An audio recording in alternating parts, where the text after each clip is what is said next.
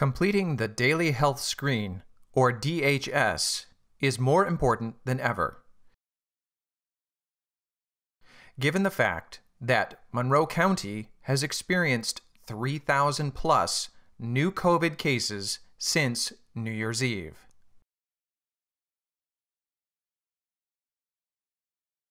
And the positivity rate in the Finger Lakes region has exceeded 10% for the first time.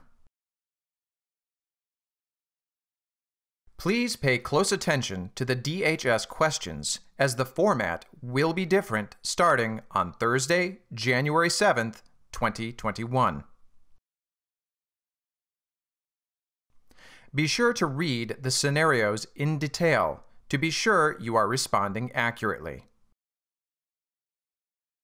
Are any of the following true?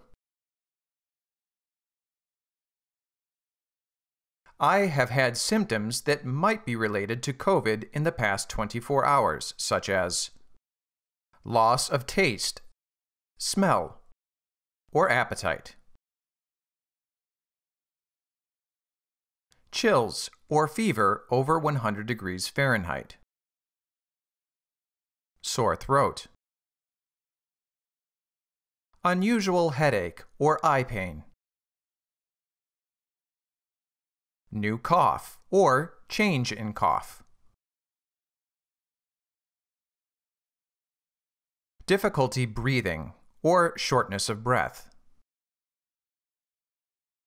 Abdominal pain, nausea, vomiting, or diarrhea.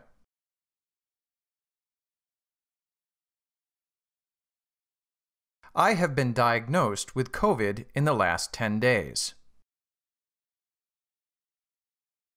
Or I have been advised to stay home by a medical professional due to COVID concerns. I have learned that I was in close contact of a confirmed case in the last week.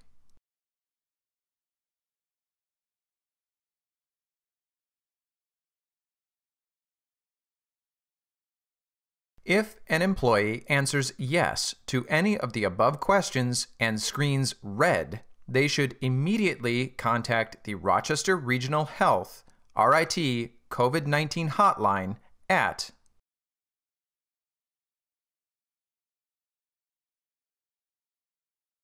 for a health assessment by an RRH medical professional.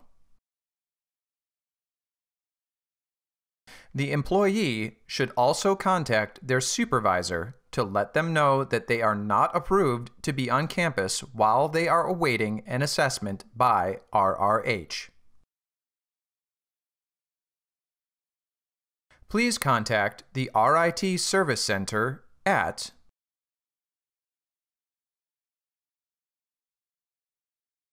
with any questions please continue to follow the RIT Ready website